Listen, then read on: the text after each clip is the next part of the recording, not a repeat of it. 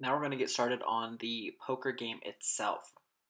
We've already instituted the player class, the standard card, and the standard deck separately, so now we're going to integrate all of that together.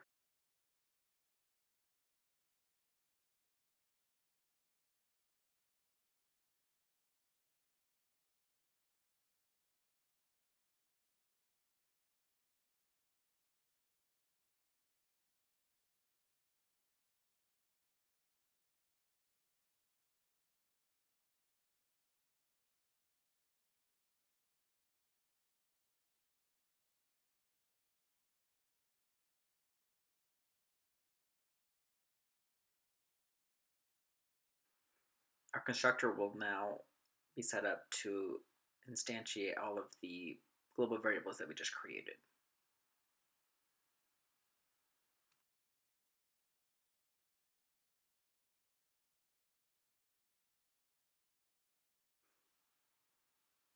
We'll start with creating an empty list for our players. We're going to making an array list.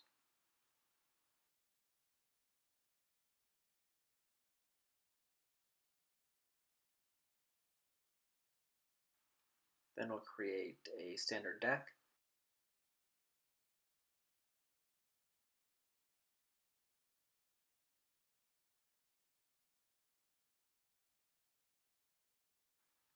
Next will be our community cards. So that'll be the ones that are on the table. It'll include our flop, turn, and river. I mean, there's only going to be five, so we will just set that to only have five slots.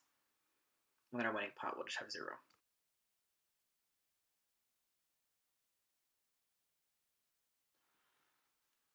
Our game will need to know about the players and how to handle adding players, so we will create a method that will interact with the user through the terminal or console.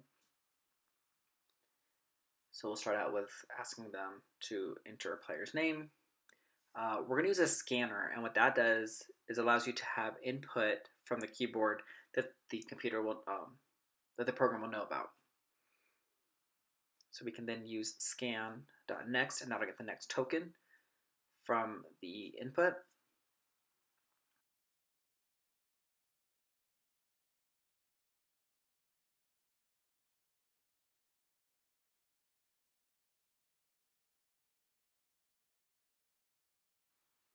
So that's for the player's name. We'll save that into the temp name. And then we'll let them know what that temp name what player they're talking about, and for them to enter their starting balance.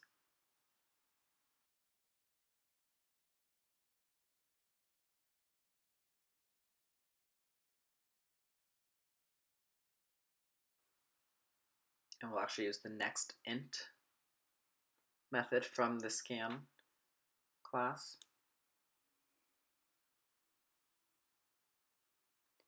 And then immediately we'll show them what their cards, their, their two hole cards are.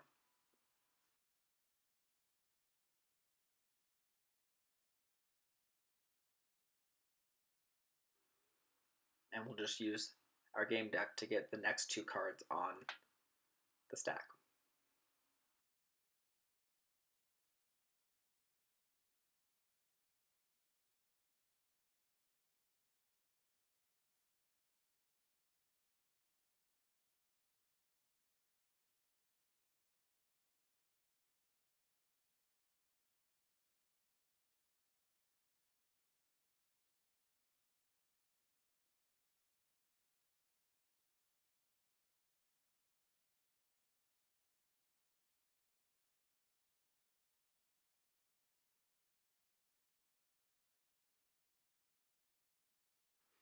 I highly encourage testing and testing often.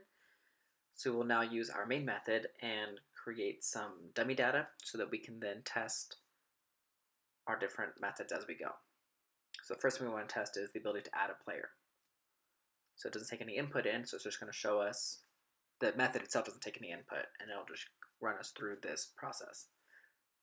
So we have one Findawg as the player name, $200, 200 units is the balance, and then we've got 10 of spades and a 10 of clubs as our hole cards.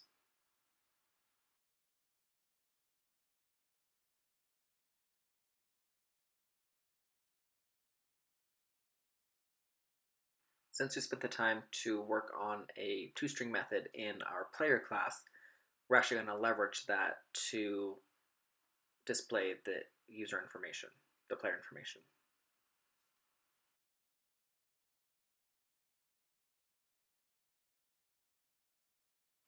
Now that we have add player working, we actually want to kind of put a wrapper around that that will handle all the player setup the very the likelihood that we'll only have one player is kind of low, so we want to be able to cycle through and keep asking the user to add more players if that's what they so choose to do and handle all of that.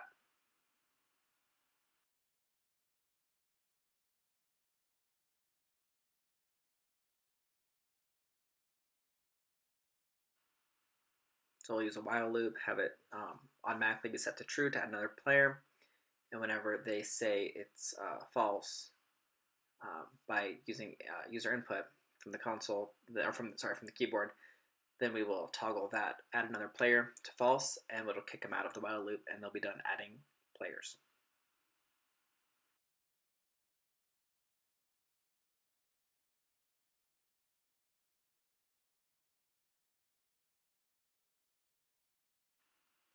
Now we'll add player setup to our poker game constructor and therefore we don't need to call add player anymore. And now we can enter our players.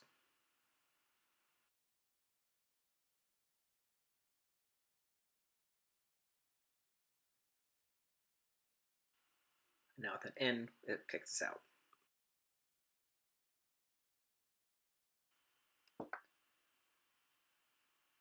Blinds are part of the game, which are initial kind of bets that go in to keep the game going and, and interesting.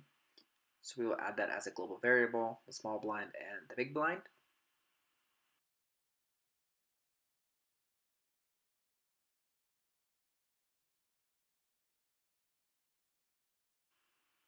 We'll allow that to be part of the constructor because that'll be set for the game.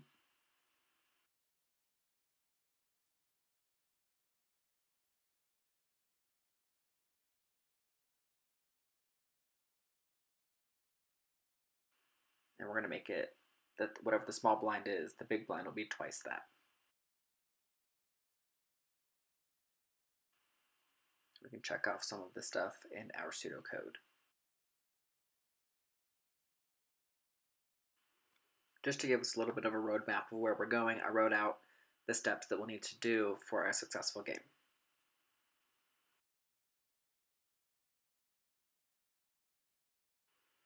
So there are a few more things that we want to do to set up for a game. One is we want to pick who the dealer is going to be.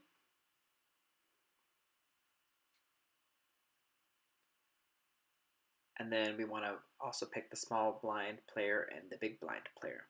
And that'll allow us to keep track of it and then rotate it through uh, after um, each round.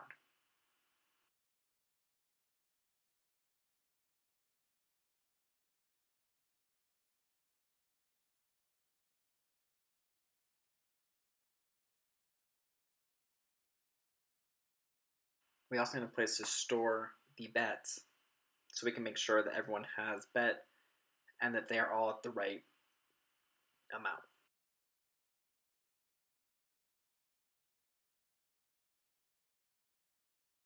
This will make more sense when we are dealing with the calls and the checks and raises.